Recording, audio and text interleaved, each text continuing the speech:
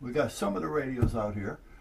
There's still uh, two more, three more. I don't remember, but they fit there right. And now this one again, which is the uh, I don't know if you can see that or not. This is starting to lean a little bit, and I have to tighten that up.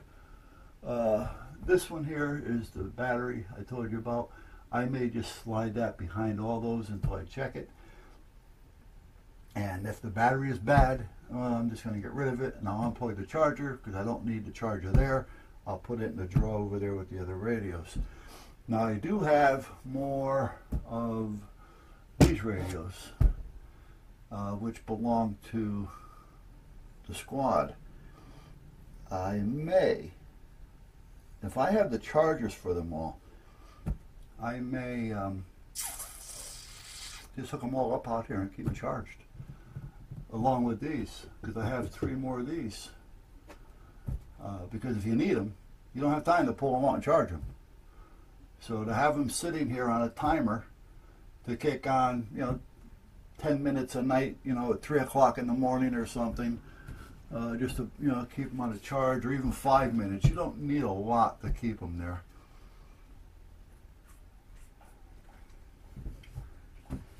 Hmm. I may do that. And if I do that, I'll move these over here. And I'll put the other ones over there. And then this way I can kind of keep them separated. Anyway, guys, um, the other day, I was talking, yesterday, I was putting these things through the wall. I don't even know if this battery's still running or not. And this thing is all coming undone. Uh, I was putting these connectors through the wall. And still running or not. And this thing is all coming undone. Uh, I was putting these connectors through the wall. And they're, like as you, you can see, I mean, you know, that's like eight inches too long. That one there is a couple inches.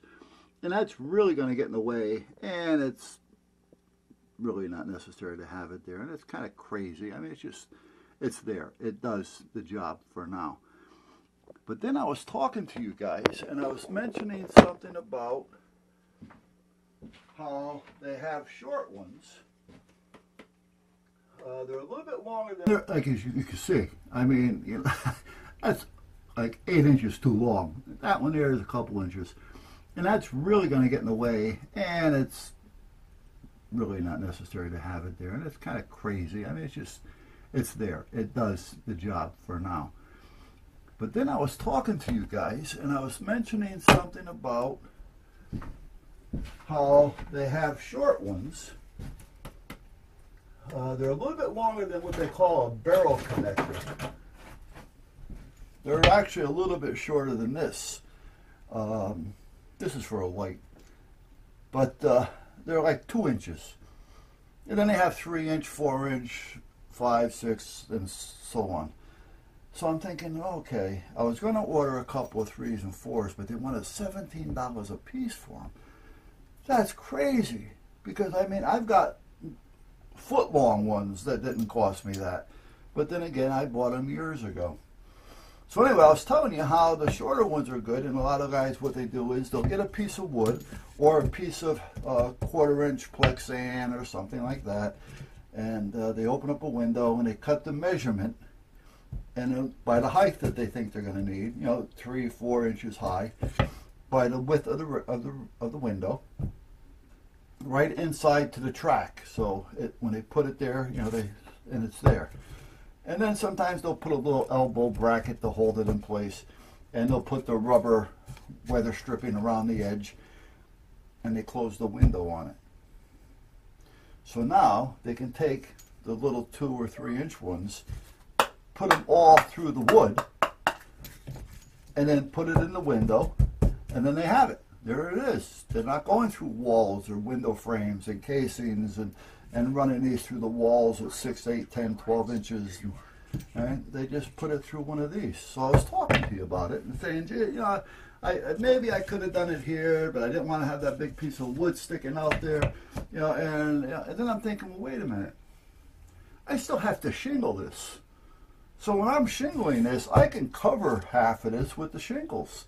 The shingles may pop out a little bit here, may look a little But you know what? You're not even going to notice this. Uh, even if I cut the shingles around it, you know, it's noticeable now because I got house wrap on it.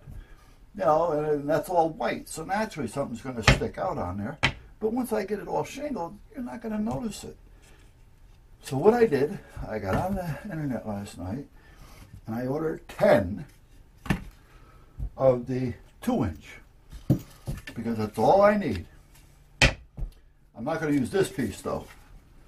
I'm going to get a piece a little bit bigger. Uh, I'm thinking probably, well, I have a piece that I was thinking about if I can find it.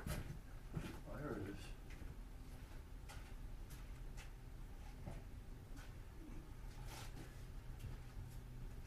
Where'd it go? There it is. It's not going to be this long because I don't need it to be that long. But I'm going to take it right about there. And then I could put two, four, six, eight, ten. I'm done. Cut a hole just big enough for this to fit in in the wall. Put that over it. I'll put some goopy goop behind it so that it seals up because I'll be doing it from the outside. And uh, and, and G1CYW, Kilo 1 Charles, Yankee Whiskey, statewide. Yeah. Uh, I didn't catch his call, but if I did, I could tell you where it was. Um, and then if I want to hook up an antenna, this is there. All I got to do is screw it on. Unscrew the weather cap, screw it on, come in here, screw the radio into it, and I'm done.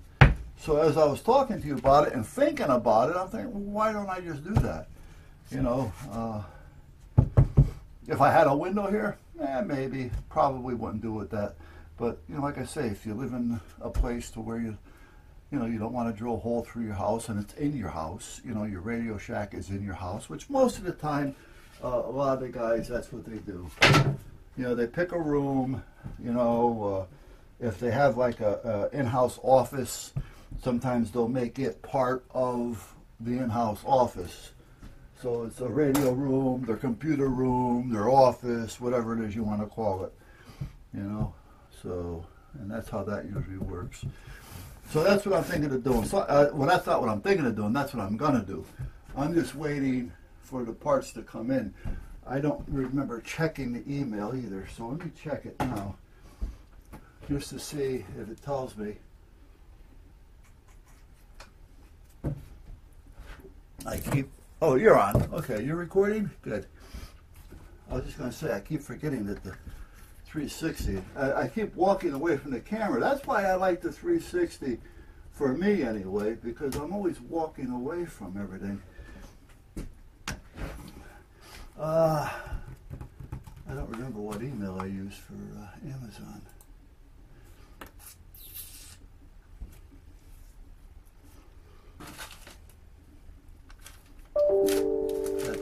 Gun stuff the wife wants me to look at. Uh,